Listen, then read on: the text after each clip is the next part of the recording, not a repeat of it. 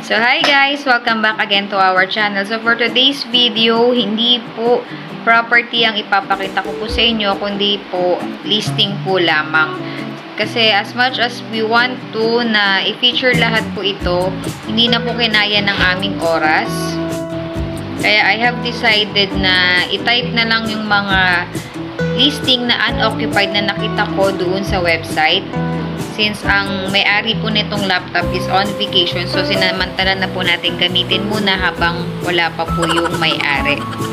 So, ito yung papakita kong listing is under publication batch number 15077. Then, ang period of acceptance of bid offer is sa July 12 to July 16, 2021.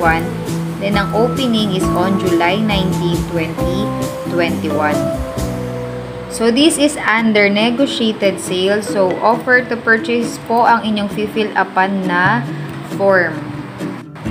So, ito po yung itsura ng offer to purchase form. Ayan po ang inyong fill upan kapag po ang inyong bibiling property is under negotiated sale.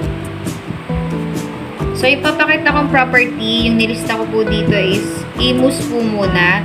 So, lahat po ito is unoccupied uh, na listing based po doon sa website. So, yan po. Checkin nyo na lang po. Dandahanin ko. Basahin ko na lang din. So, item number 88, property number 815-201-9052, 70073. So, this is uh, Parksville Subdivision, Phase 1, Block 5, Lot 12, Barangay Alapan 2A, Imo City, Cavite. So, this is Townhouse, TCT is 057 dash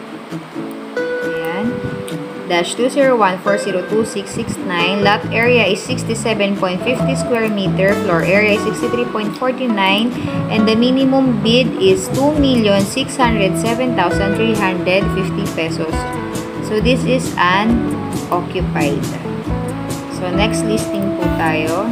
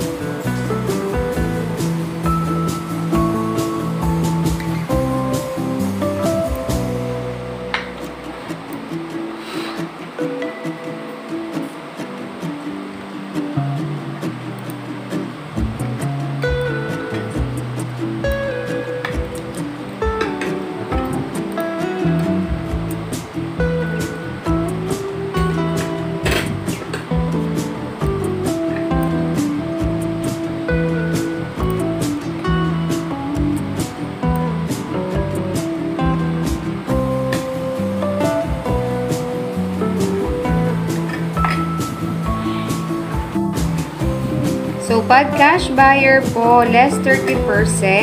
Pag short-term installment, less 20%. Then, kapag long-term installment is less 10%.